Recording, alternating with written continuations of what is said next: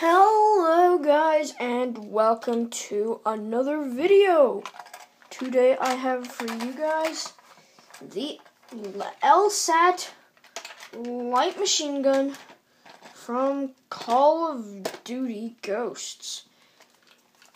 So without further ado,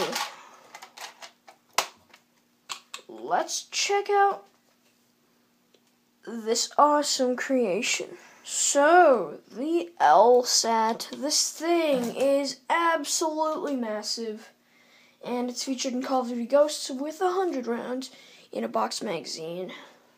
It's just like um, some of the other light machine guns, it's belt fed, so it has a long reload time, but it's worth it. This thing has a pretty good fire rate. Um, and honestly, I prefer using this over the Chain SAW or the Ameli. I like this just because of its fast fire rate and its decent accuracy at a foregrip and a silencer. Those are my two favorite attachments. And this thing becomes basically an M27 IAR. So, um, that just happened. Anyways, let's get on to some of the details. So it's got the fire selector. It's got a printed brick from actually the Millennium Falcon set. Well, one of the mini ones. It looks really cool. Um, a lot of these uh, slope bricks on the side. Same with here and on the back. You've got the stock that doesn't move, but it's nice. It's a heavy butt stock that is really nice framing and it's stable enough to support the entire gun. The handle, a new design. Tried it out. It works really nicely. It's sturdy as well. Same trigger guard and trigger. Um, you've got the feeding system place. You've got the little cover. the belt just goes through here. So yeah, I'll show you guys that in a moment. The grip with the gray inner part and the black edges, I guess. The barrel with all the gas vents. And then, of course, you got the muzzle and the sights, which I'll show you. And it's just a nice weapon overall, and I love using now, it. Now, to load this thing, you're going to start with the shred. You just got to roll it up like this. So you have this little pocket thing, you put it to the side. You take the box, and the lid pops off. And put this in. Shake it around a bit so it smooths out. Take the lid, you put it back on, and you're basically all set. And to put it in the gun, put this to the side again. Um, you just lift this up. You take the box magazine, which is pretty hard to put on. It's actually really hard to use, especially when I'm carrying it. I prefer doing it on the ground, but yeah, you connect it to the bottom,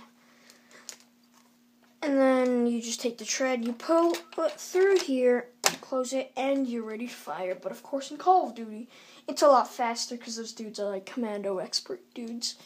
And the handle is sturdy enough to hold the gun, which I'm gonna say this is the same weight as my minigun, actually. So this thing's a massive creation, but it was all worth it in the end. Here's a look down the iron sight. As you can see, it's got the ring in the back and sort of the triangle with a ring on the top in the front. And I think it did a pretty decent job. It's probably not the best.